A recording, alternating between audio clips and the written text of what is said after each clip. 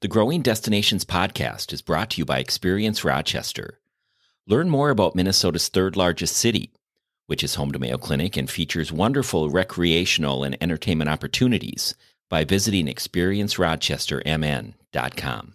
In this business, I think the reward is being able to have a concept, develop the concept, and see the gratification on an individual that you've never met before. Within six minutes of meeting meeting this person, this person and I have now shared a a an experience that you know it's it's it's it's very rewarding. You know, they they took me on my word, they tried it the way I said it, and they're like, "Wow, this is like the greatest thing since sliced bread," and I'm like, "Yes." In any aspect of the entrepreneurial journey, you pick up things, you do things that you never imagined you could have done.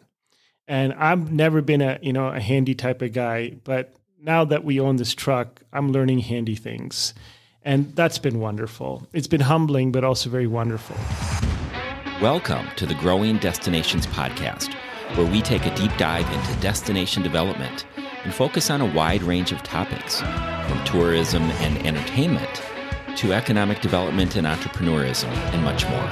I'm your host, Bill Von Bank. Food trucks are not new concepts, but they are growing in popularity and variety. Today I'm joined by two culinary professionals who share their entrepreneurial journey in the food industry, which has evolved into food trucks. Joseph Phillips is owner and operator of Jersey Jo's, serving authentic cheesesteak sandwiches in Rochester, Minnesota.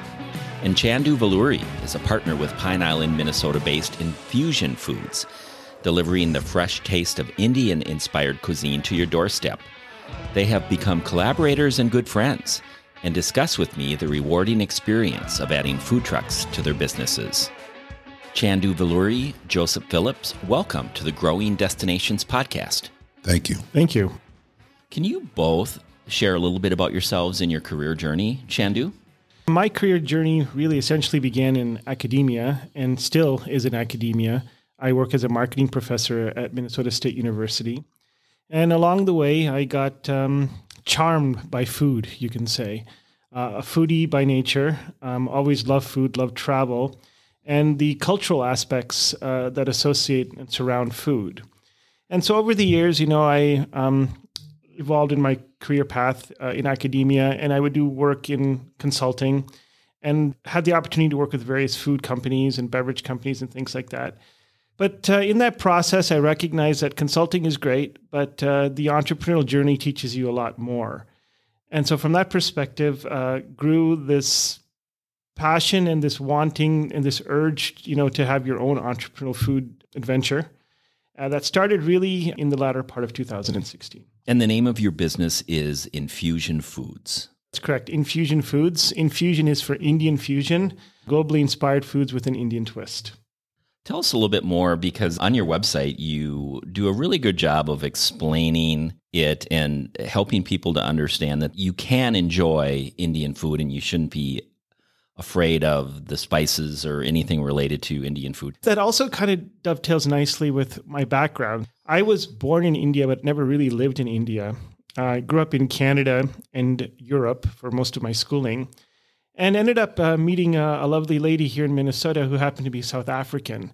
So our family is very globally oriented. And what really sparked Infuzn was this idea that, you know, much like Italian food and Japanese food and Chinese food and Mexican food has adapted to the American palate, we believe that uh, Indian food too is in that space. It's evolving uh, as part of the American, you know, cuisine and that uh, our objective is to make it more friendly, more appealing, and you know uh, to to decrease that the, the scariness or you know the little issue surrounding the lack of wanting to try it.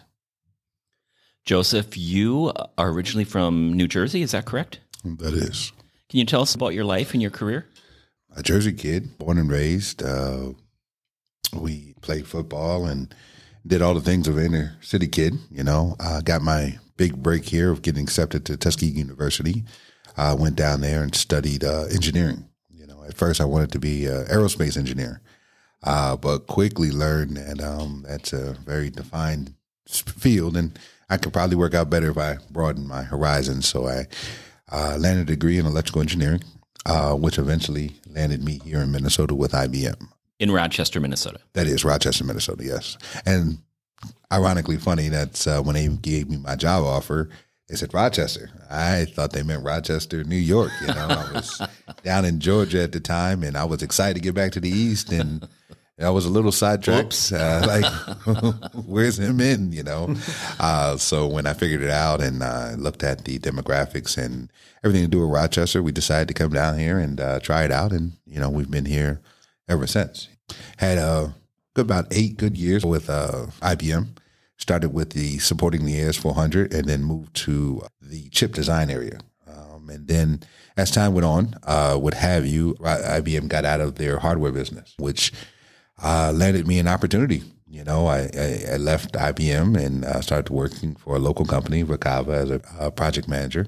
Enjoyed it, but there is uh, something about getting laid off that puts a taste in your mouth, you know, and that taste is how do I secure uh, more of my future? And uh, that was a question that I started asking myself. Um, at the time, my wife had her career started taking off at uh, Mayo Clinic, uh, so that kind of kind of kept me here locally. And uh, I made a decision to open Jersey Jo's because for us it was we we just didn't have anything familiar. We didn't have a place that really had cheesesteaks or deli subs are things that I grew up with. And um, as far as my wife's aspect, she uh, grew up down south, and her palate was more southern, you know, uh, flavorful and, and things of that nature. So we kind of combined it too, and we opened up Jersey Jo's to give a uh, a taste of the East with a mix of uh, you know Southern cuisine or or style of cooking, um, and that's how Jersey Jo's came about.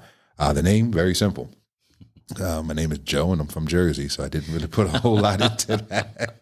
you know, um, it works. Yeah, yeah, yeah. That's what I hear. a lot of people think that I'm associated with uh, with Jersey Mike's, which is a very interesting thing, you know. And uh, I tell them well, that's my cousin, you know. I just, uh, uh, but there's no financial uh, agreement there, and uh, you know, it actually opens up a lot of room there because a lot of people come and they and they look for franchises, you know. So they, they see Jersey Mike's and they make the the mix up, and then that gives me a, a chance to introduce them something new, right? me myself, I like competition, so I enjoy Jersey Mike's opened up when they opened up on Circle Drive because I think it it, it, makes you rise to the to the challenge. You know, whether I'm going to deliver or not. You know, and so far uh, we've been delivering and very very strongly. When did you open Jersey Jo's? We opened in 2015, so we're celebrating seven almost seven and a half years. Yeah, that's great. Chandu, when did you start Infuzn Foods? Yeah, we formally incorporated in late 2016, um, around November 2016. But then by the time we procured our facility and whatnot, it was um, June of 2017. So you can see operations really began in June of 2017. So, where Joseph has a brick and mortar store, your business model is delivery? That's correct. Yeah, we are meal delivery oriented. That's one of the major streams uh, of our business. So we have a commercial facility in Pine Island um, where we are able to curate meals and deliver. Presently, we're delivering in about 23 communities in southeastern Minnesota. Both of your organizations have some success behind you and uh, uh, some years behind you to to kind of get it right, if you will. But you've also both jumped into the world of food trucks, and so I really want to focus on that because such a growing trend pre-pandemic the growth of food trucks was about 7.5% annually. Took a little dip during the, the COVID pandemic, starting to rise again. So let's talk about why you jumped into the food truck world. Joseph? Well, the food truck world was a bit of a, uh, a thought for us at first. You know, we opened up initially 2015. We purchased our, well, let me step back before I say we purchased. We actually got into Steele County Fair the summer of 2016.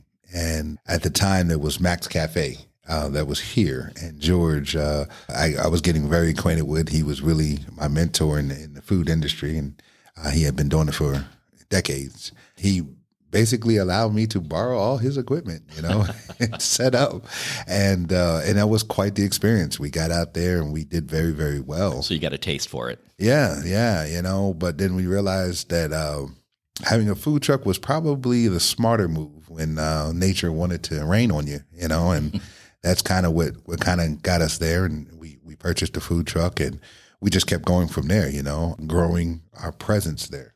Chandu, how about you? What would happen is that you know, we'd see Joe at you know things like Rochester Fest and other events in the area, and we'd always strike a conversation. And he's a great guy to hang out with, and he makes great food. So we'd always trade food and enjoy each other's company. And he said, "You guys really should be thinking about this food truck." And you know, I passed it off a year or two, and then I realized what he was saying, and uh, here we are. And we actually keep running into each other, and uh, you know, we, we're become good friends. And he gives us a lot of pointers on what to do. So very collegial. Very much so. Do you see growth in your retail businesses from operating a food truck? I do. Yeah. I, I believe so. But what's happened is you get noticed a lot, and so we've noticed um, you know uptick in our digital and our online presence just because of the food truck. And the food truck has allowed us, and I'm sure it will continue to allow us to have a lot more reach. You're able to meet people all over at different festivals, at different pop ups, at different music, music series, whatnot. And it just gets your word out, and I think that's uh, we're starting to see a, a definite improvement in that piece. How about you, Joseph? Any growth in your business? Yeah, most definitely. Um, being able to get out to some of the smaller communities is a, is a good marketing tool for us, um, where people would have heard of us but not have tried the food. We get out to uh, some of these smaller towns and uh, they fall in love, and uh, and then they come search you out. And it was amazing. I remember the first year that we did it, and we uh, went to Steele County, and people would come down on a weekly basis, and I'm like, that's pretty far away, you know. But they didn't have anything like that going on in their town, so they came down, you know. Um, and I, and I think that it's uh, it's a huge marketing uh, aspect that when you go out there and you have this this food truck, it's this you know, sixteen foot in my case, thirty foot banner that moves around, you know, and and people take notice very well, you know. Yeah, I was just going to add to that. You know, I remember uh, the first week that we're driving the truck around, and you know, you know, very much in the right lane, driving 40 miles an hour, looking in every direction possible. And then about 30 minutes later, someone calls their cell and says, "I saw you guys driving down the highway. Uh, are you able to do this event?" Da da da da. And as Joe points out, that's a phenomenal marketing advantage. Do you find there's more events than you can do that are just reaching out to you, asking you to participate in this event or that event? Most definitely, and and that's a good problem to have. You know, uh, that means that people are talking about you, people are thinking about you. Uh, it is it is a, a down point that you can't do everything that's asked, uh, but you try to grow a little bit every season. You know, if I did four events last year, I'm trying to do five the next year. You know, um, and and then if you do it, you know, for a while that I've been doing it, then you realize it's really not the huge numbers. It is the quality of what you do. If when you go there everyone enjoys himself and everyone is satisfied, that that that in itself is going to launch you in places that you didn't dream of being. You know, uh, so trying to do everything is not necessarily a good thing. You know, but do what you do very well. You know, Can you do this year round with your food trucks, or is it more of a seasonal thing? well in Minnesota, no. uh, the food trucks are very durable. Um, they they uh, it, you design it the way you want. Uh, but uh, Minnesota has a uniqueness about them because of the weather and how cold it gets. Uh, that it does not become feasible um, at some point because you need running water and you need some other aspects that get affected by the cold. You've both identified food trucks as growth opportunities for your businesses. What are the challenges you currently face with operating food trucks? Uh, you have to be very strategical because you have a limited amount of resources to utilize. Um, and in my case, I have a brick and mortar and, and a food truck, so you have to consider some things there. I think uh, resources and weather being the biggest challenges. Yeah, and for us, it's it's learning the process.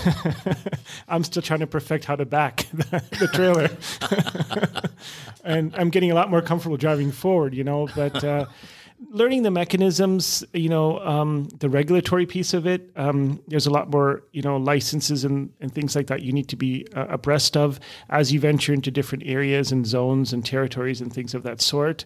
Weather is a huge piece, as Joe pointed out. You know, one great day of weather can do wonders for you. One really bad day of weather can, you know, be a downer. And of course, you know, managing what you can handle you have to be strategic. There's so many supply chain issues right now, so you got to make sure that you have ample resources in terms of you know the ingredients for food.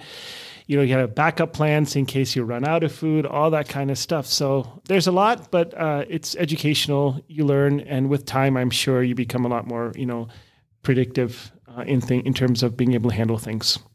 I've noticed food trucks at more corners of streets. I've noticed food trucks even in major retailer parking lots. Do you think the food trucks will continue to grow in popularity for years to come? Food trucks are not new. They've been around since I've been a kid. But the idea of the the quantity and the diversity of them, I think, are growing. I think we were all frequent with uh, maybe a, Mexican style food truck or you know a, a lunch style short order uh, food truck, but now you have all types of food trucks like Infuzn, and I've seen a variety of different ones that you know make me say, "Hmm, that's pretty interesting." You know, uh, so yes, I, I really think it's growing, and and I and I really hope that it keeps growing. I second that. Are there networking and learning opportunities within the food truck community? You, earlier, you talked about collaboration you both have as food truck operators, but are there global associations for food truck operators, or just even within the community that you operate, or or the state of Minnesota? I believe so. I mean, I, I rely heavily on the social media piece of it, and there's various you know online groups, social media groups tied to you know food trucks and things like that, where you learn a lot. You know, where you know you actually seek out business because people are you know are advertising or looking for food trucks to come to their venues and things like that. But you know, the best source has been county fairs and just various local events where you meet great guys like you know Joe here, who you strike a conversation with, and you know he tells you to get a cordless drill, and you do it, and it makes a lot more difference. I think that you know the peer group element of it goes a long way in terms of you know learning the ropes. Joseph, it sounds like maybe you have to write a manual. Well, uh, that's his next step. and, and, and, no, and, and I want to I want to uh, thank Chandu uh, because he actually listened. Um, you know, a lot of times in, in in growth, we we have an idea and you know we become very blinded and we don't listen to people around us. But I got to say, from the onslaught of of Infuzn when I met him in a in a tent to where he is now, he's he's when I said something, he would look at me and say, "Hmm." okay, you know, uh, and and now that he has the food truck, you know, I, I try to drop what I learned on him and, and, and laugh at his struggle because I remember being there, you know, and uh, he's quickly learning to perfect his craft, and, and I applaud you for that. What's most rewarding about operating a food truck? I, I think what's most rewarding is in, in this business, I think the reward is being able to have a concept, develop the concept, and see the gratification on, on an individual that you've never met before. Within six minutes of meeting meeting this person, this person and I have now shared a a an experience that you know it's it's it's it's very rewarding. You know, they they took me on my word. They tried it the way I said it, and they're like, "Wow, this is like the greatest thing since sliced bread." And I'm like, "Yes," you know. So, uh, so I, I, think the satisfaction of being able to to uh, to give someone a short satisfaction in, in a very short amount of time is, is, is I think very rewarding for me. Chandu, I think what's rewarding is you are in any aspect of the entrepreneurial journey, you pick up things, you do things that you never imagined you could have done. And I've never been a you know a handy type of guy, but now that we own this truck, I'm learning handy things. And that's been wonderful. It's been humbling, but also very wonderful. The other piece of it, I think, is you need to be prepared to do things on that truck. You need to be able to, you know, man that truck. And so the both of us are sitting here, but you know, we're on that truck. We're operating that truck. We're learning how to do that day in and day out. And that is very gratifying. And when you see a little kid or a customer come by and have a wonderful experience and come back again, that is the most gratifying. At the end of the day, you do that. You do what you do because you believe in what you do, and you bring a smile, hopefully, to someone's uh, face. Chandu Valluri and Joseph Phillips, best of luck to you on your business ventures, and thanks for being our guest on the Growing Destinations podcast. Thank you. Thank you for tuning in to the Growing Destinations podcast, and don't forget to subscribe. This podcast is brought to you by Experience Rochester Find out more about Rochester, Minnesota and its growing arts and culture scene, its international culinary flavors, and award winning craft beer by visiting experiencerochestermn.com.